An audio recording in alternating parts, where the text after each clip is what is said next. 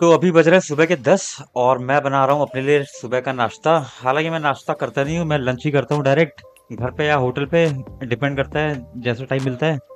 और आज मेरा मन हो रहा था एग खाने का तो मैं अपने लिए बना रहा हूँ एक फुल फ्राई एक अंडे का। और मुझे घी में बना, बनाना बहुत पसंद है एग और कभी कभार खाता हूँ, इसलिए मैं घी एकदम भरपूर मात्रा में डालता हूँ। और ज़्यादा इसलिए भी डाला है क्योंकि ब्रेड भी इसी में सेकनी है।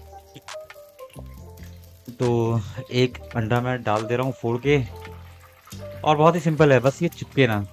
सबसे दिक्कत यही होती है फुल फ्राई बनाने में। और इसके ऊपर मैं भर के डाल देता हूँ प्याज थोड़ा सा टमाटर, हरी मिर्च और धनिया।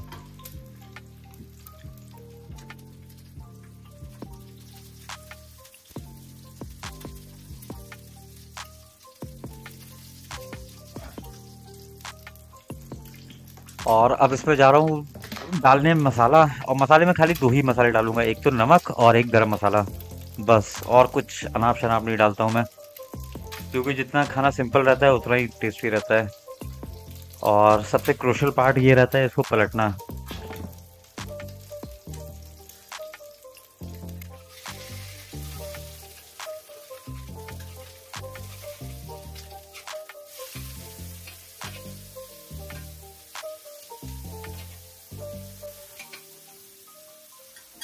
और मैं लगभग एक महीने बाद अंडा खा रहा हूँ। लाइक बहुत दिन हो गए मुझे बनाए हुए। और कभी कभी दिक्कत ये होती है ना कि समय नहीं मिल पाता है अपने फेवरेट चीज़ें खाने का। बट फाइनली आज मैंने अपने दिल की इच्छा पूरी कर ली।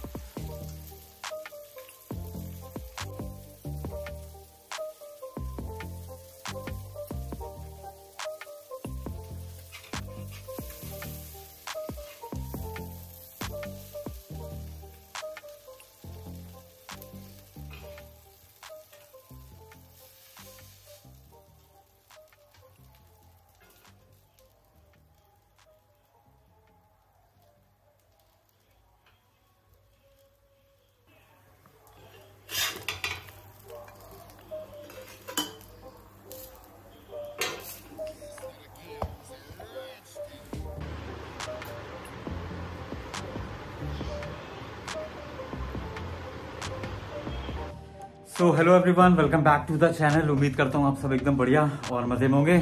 और आज है फ़र्स्ट ऑफ़ मई और महीने की स्टार्टिंग है। और स्टार्टिंग जब भी महीने की होती है तो मेरी टेंशन बढ़ जाती है क्योंकि रेंट देना रहता है सैलरी देनी रहती है, बहुत सारी लाइबिलिटीज़ रहती हैं। खैर, कोई दिक्कत वाली बात नहीं क्योंकि रेस्टोरेंट से आ जाता है, ऐसी कोई दिक्कत नहीं है।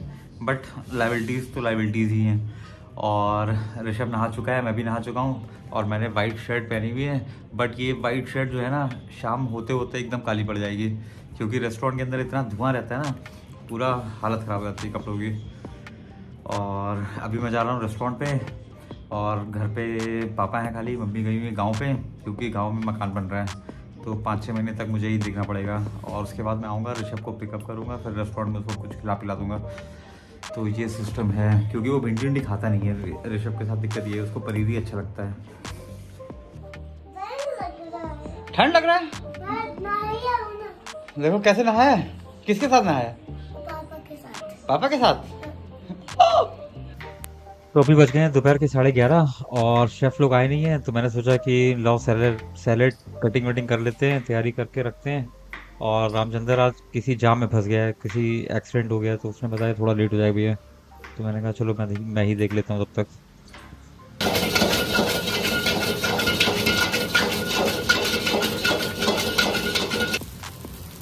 और ये दिन का पहला ऑर्डर है पनीर फ्राइड राइस का, और ये just one forty one twenty rupees का है फुल प्लेट पनीर खींच दो, बस हो गया।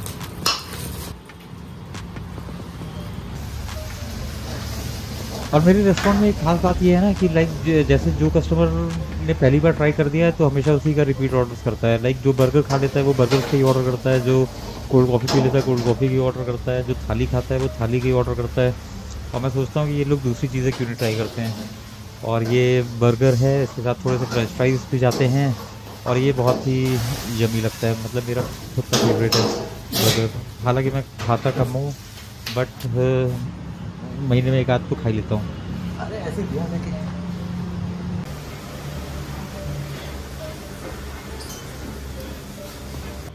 और दोपहर में ऋषभ भी आ जाता है रेस्टोरेंट पे। लगभग एक दो घंटा बैठता है यहाँ पे। टीवी भी देखता है कुछ ना कुछ खाता रहता है और आज स्टाफ के लिए बना है तहरी। और ये मेरा बहुत ही अल्टीमेट कंफर्ट फ़ूड है। तहरी मुझे बहुत पसंद है हाँ? स्कूल से आने देखो लो खा के देखो तो आलू वाला है। अच्छा ये खा के देखो बहुत यमी है। बहुत यमी बनी है। और लंच करने के बाद थोड़ी देर मैं ऋषभ के साथ बैठता हूँ और उससे उसके स्कूल स्कूल का हाल चाल पूछता हूँ लेकिन वो मोबाइल में बिज़ी रहता है तो कम नहीं बताता है। और उसके दो तीन फ्रेंड्स हैं उसी के साथ बिज़ी रहता है।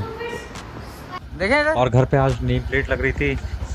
और ये इस तरह का कुछ लुक आता है। ऊपर वाली जो पहले थी वो पहले मार्बल कहाँ यहाँ पे लग गया है तो वो लग नहीं पा रही थी पुरानी वाली तो फिर यहाँ पे स्टिकर वाली एक बनवाई है।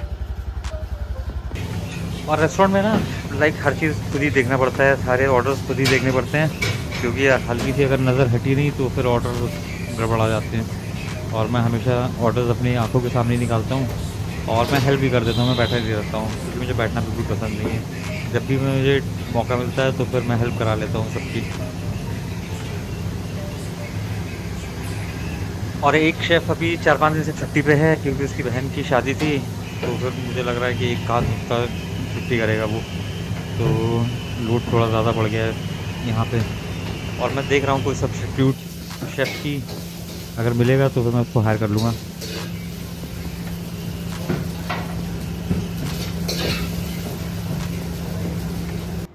और बहुत दिनों के बाद आज मेरा मन कर रहा था कुल्फ़ी खाने का, इसलिए मैं आ गया था मुंशी पुलिया पे कुल्फ़ी खाने, और बहुत ही अल्टीमेट लगती मुझे ये।